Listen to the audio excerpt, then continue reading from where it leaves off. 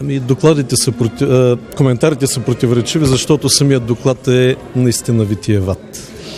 И аз мисля, че българите отдавна не разчитат на тези доклади, защото те изместват отговорността. Вместо пред българските граждани, с тези доклади българските политици все повече се отчитат пред Брюксел.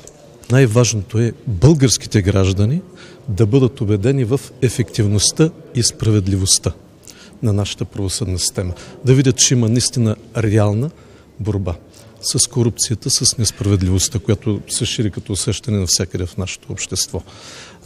Тогава ще имаме успехи и когато нашите политици наистина започнат да се отчитат пред своите граждани. Изели ГЕРБ темата за корупцията от президентската институция с идеята за ревизиране на приватизационните сделки от прехода?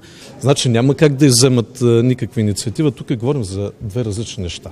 Едното е преглед на миналото, за което наистина партия ГЕРБ а, настоява и което аз приветствам, но много по-важно е да се фокусираме върху настоящето и бъдещето. Защото докато гледаме кой какво е правил в миналото, в момента продължават да текат крупни обществени поръчки. Какво правим с тях?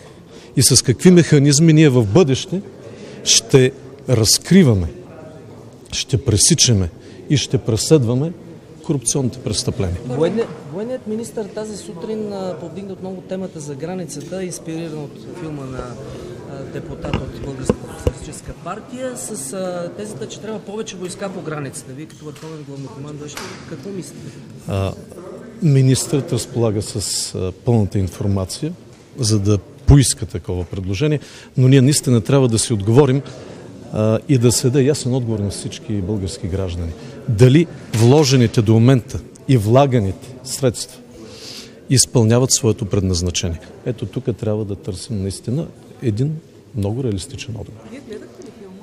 Не, не съм го гледал още, но ще го гледам. Крайно време е ползите от концесиите да започнат да усещат не само концесионерите, но и българските граждани.